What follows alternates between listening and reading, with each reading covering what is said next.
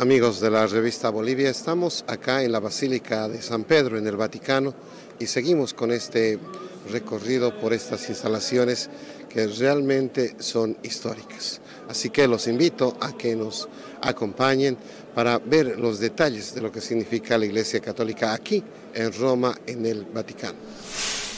Sigamos visitando el Vaticano en Roma, este estado independiente que está dentro de Italia y dentro de la ciudad de Roma.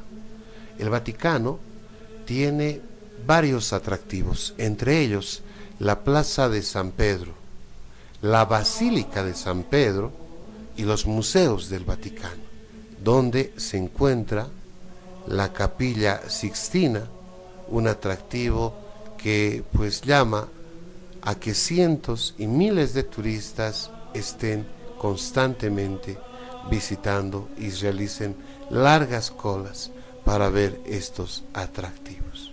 La Plaza de San Pedro se sitúa a los pies de la basílica con el mismo nombre. La Plaza de San Pedro es una de las plazas más bonitas del mundo, dice la crítica en construcción. Ha sido construida por Bernini y puede acoger a más de 300.000 personas. La Basílica de San Pedro de Roma es el edificio más religioso y más importante del mundo de la Iglesia Católica. Acoge a la Santa Sede y a la Iglesia del Papa. Los museos vaticanos también son otro atractivo. Los museos reúnen la mayor colección de arte de la Iglesia Católica Romana y son una de las principales atracciones turísticas de Roma. La capilla Sixtina es otro de los atractivos dentro de los museos. Ahí, por ejemplo, se puede observar la obra maestra de Miguel Ángel, donde en la capilla Sixtina justamente, pues explota su total arte, explota lo que a través del arte refleja su forma de mirar al mundo. La capilla Sixtina es uno de los mayores tesoros del Vaticano y del mundo. Es conocida tanto por su decoración como por ser el templo en el que se elige y corona a los papas. La construcción de la capilla Sixtina se llevó a cabo en el año 1473 y en 1481, bajo el papado de Sixto IV, se terminó este edificio. El arquitecto encargado de la construcción fue Giovanni de Dolci, siendo la única obra por la que se les recuerda.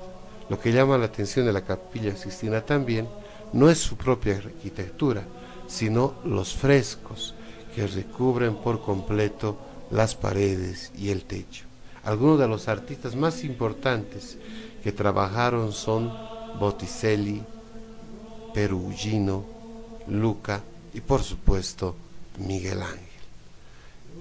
Y una curiosidad más, el techo de la capilla Sixtina tiene los frescos de Miguel Ángel, que tardó cuatro años en pintar la bóveda, allá por el año 1508. Lo que llama, reitero, la atención también es cómo Miguel Ángel se habría puesto en posición para hacer semejante obra. Y ahí podemos destacar en las imágenes, en el techo mismo, la creación de Adán.